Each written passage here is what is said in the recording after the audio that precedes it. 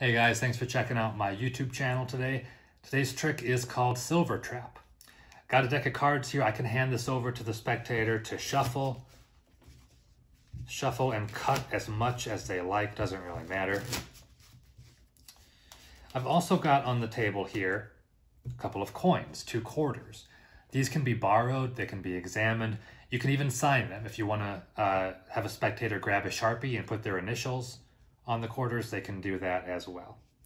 Now, a lot of people don't realize this about quarters, but uh, quarters actually have certain magnetic properties, uh, but not all the time. They don't act as magnets all the time, only if you're using them for something magical. And we're going to do a little bit of an experiment here to see if we can make that happen.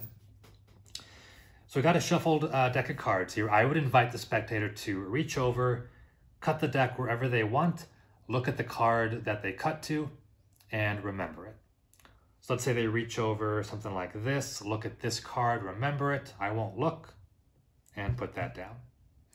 So at this point, these two halves can be shuffled as much as we want, just like that. Now I said that these two quarters uh, don't act as magnets all the time. See, for, if we just take a, a random card here, the ace of clubs, if I put the two quarters on the card, nothing really happens. I can put the card face down. Again, just normal card, normal quarters. But I said that they will act as magnets if we're doing something magical. And I'll show you what I mean. So if I take the deck, I put one quarter on the bottom, I'll hold it here right in the center of the deck. Put the other quarter, again, these can be borrowed, signed, put that right on top in the middle. One on the bottom, one on the top. All I have to do,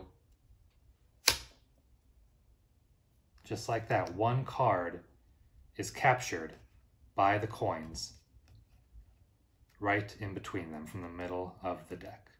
And hopefully that is your card, the King of Diamonds. So that is the card trick for you guys today called Silver Trap. Kind of a simple one, but I wanted to do a quick video of it for you guys regardless. So uh, that is it. Thanks for stopping by my channel. Come by again soon for more magic content and have a great rest of your day. And I'll see you guys later. Thanks, everyone.